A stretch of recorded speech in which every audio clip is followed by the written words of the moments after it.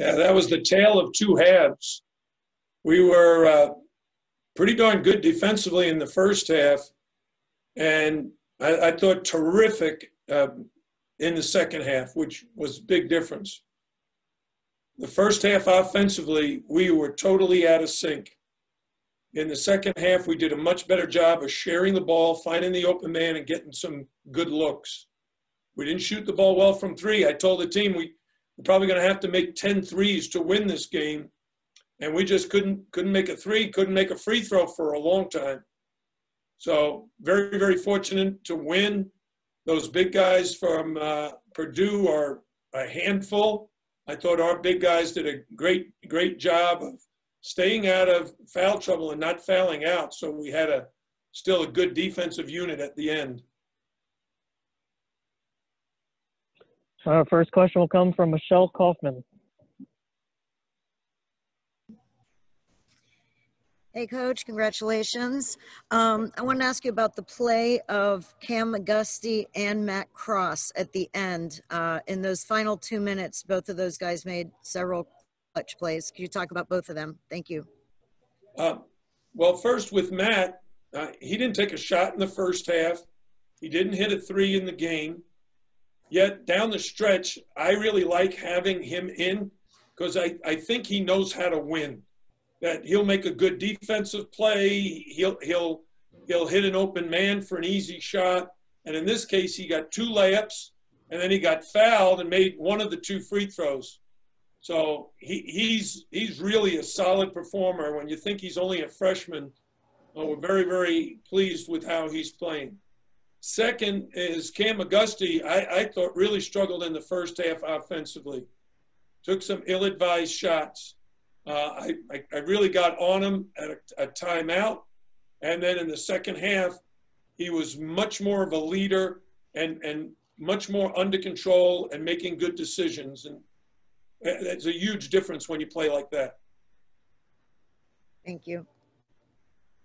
Next question will come from Wyatt Kopelman. Coach, I'm still shocked at that comeback win. Um, how do you use that as a solid learning lesson in terms of starting out of the gate strong against ACC teams come January February? Yeah, this game will be over, and we'll be moving to the next game. You know, it's this is a uh, um, Tuesday night, five o'clock in the afternoon. Great comeback win, but tomorrow we've got to move on to our next opponent and our next game I think the guys will, will be energized by the victory and hopefully learn something about the way we shared the ball in the second half.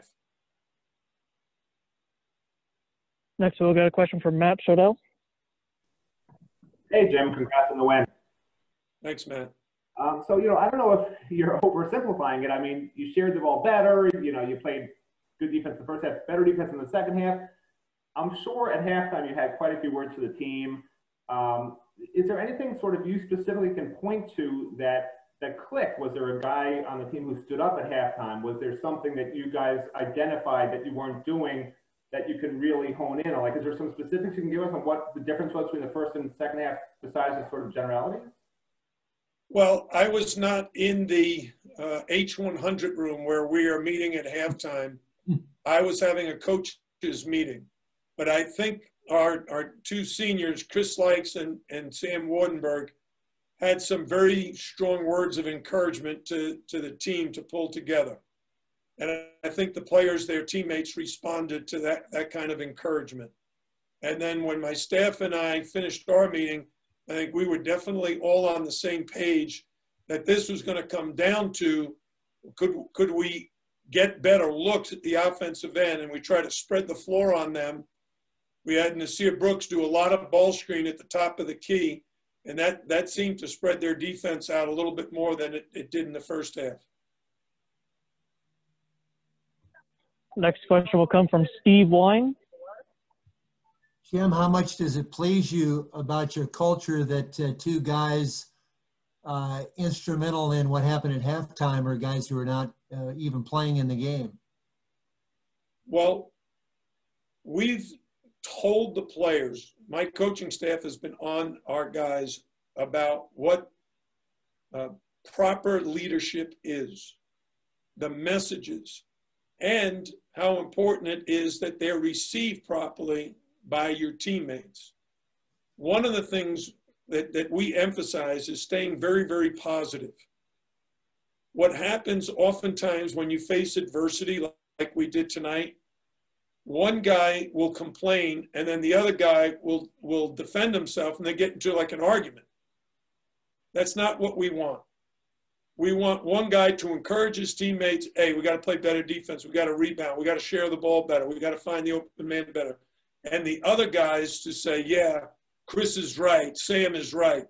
Uh, Rodney's right. We, we've got to do a better job than, than uh, what we did in the first half. And that clearly is what happened. Our defense, you know, we gave up 32 points. And what did we give up in the second half? Like 22?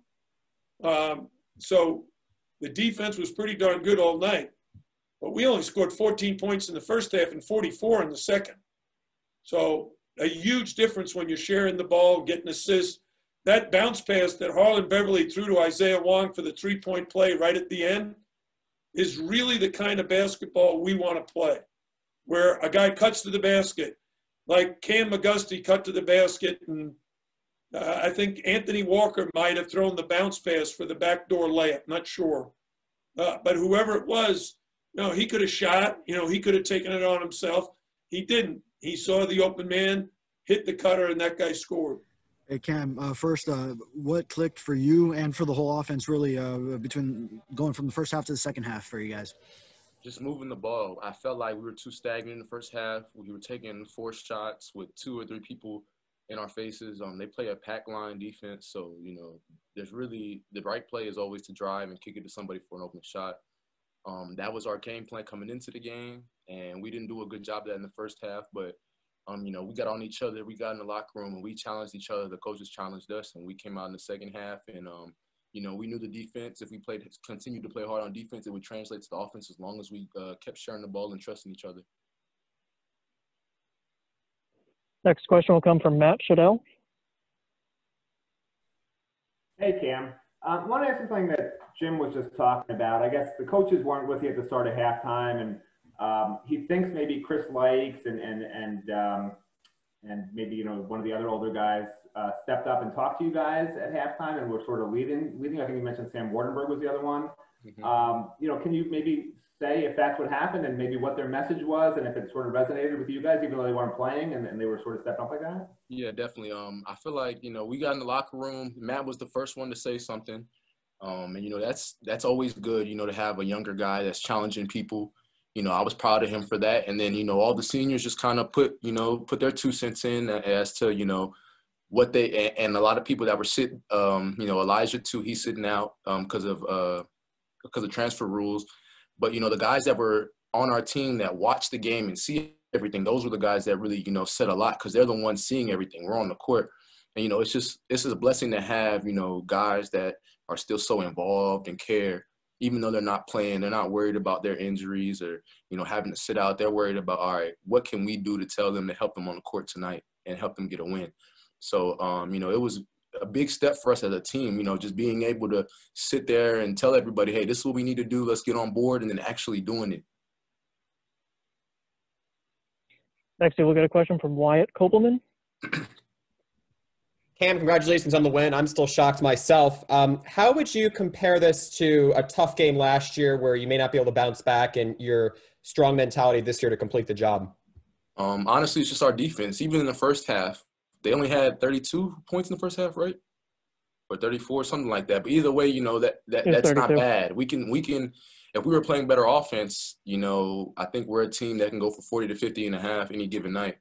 So, um, you know, I think our defense was great we just we were just missing that physicality in the in the first half, and I feel like the second half we brought that, and we just brought that that fight in us, and you know that's what we need to do from you know the first 20 minute half to and and lead that on to the to the second 20 minute half. And our last question will come from Michelle Kaufman. Hey Kam, congratulations. Um, can you talk about why do you think you guys struggled so much from three point? Uh, you know, your three point shooting was way down in this game. Was it something they were doing, or was it just that you guys were your shot was off? I think in the first half we took a lot of restaurant ones, a lot of contested ones, a lot of ones off the dribble. Um, and yeah, I, I, I'll give credit to them. You know, um, I definitely first couple of minutes I was like, wow, they're actually playing good defense. So I, I definitely have to credit Purdue's defense. They did a great job, and um, you know we just got to get back in the gym. We didn't shoot the ball well from the free throw line either. Um, so I feel like just as a team, that's something that you know we've got to notice. This is our first game of team playing man, you know, and our first real you know Power Five team that we've played. So obviously we see catching and shooting is something that we need to work on. So it's a blessing that it, happened this early a curse that it happened in the game but you know at least we can learn from it and um, fix it before uh, we head into conference. Harlond, congratulations on the win. How would you say the team shifted its focus towards uh, defensive efforts in the second half when you all knew your three point uh, field goals weren't going to be hitting tonight? Um in the locker room, I think we just had like a heart to heart. Everybody as players, we just um, told ourselves this is a second half. We need to really pick it up on both sides of the floor. Um, we we weren't doing terrible defensively, but second half we really picked that up and got a lot of stops that we really needed. And um, I feel I just attest that to really. I want to point two people out. Was Nas and Matt. They really challenged us as a team to step it up on the defensive end, and I feel like we responded well to that. Next question will come from Michelle Kaufman. Hey, Harlond, can you uh, um, elaborate a little bit on that? A couple of people have are mentioned about uh, the, the talk at halftime and everything that Matt stepped up as a freshman. And Naz, what exactly did they say um, if you know i don't know if you can use the language but what exactly did they say at halftime that that got you guys fired up for the second half? Thank you. Uh, really just that. Thank you really just that um, we're better than what we were we're better we have we can bring better effort than what we put out and that um, we were very prepared. It's just a matter of actually doing it and not doing it. And um, they really just told us that we weren't doing well and we need to really pick it up. So um, I think we did a great job of that. Our next question will come from Cal Friedman. Harlond, you struggled a bit in your first start of the season. First half, you only had roughly two points, turned the ball over a decent amount in the first half. But in the second half, you came out much better. What does that say about your mentality to be able to turn around from a poor performance and turn it into a good one? Um, that's something I always had to do my whole life is to learn how to um, overcome adversity. Um, second half, I feel like I, I'm always just the same person, always even keel. So I feel like I um, first half was first half. I didn't do a good job, and either I can respond well or I can do even worse. So um, told myself I'm gonna decide to pick it up. So I did that.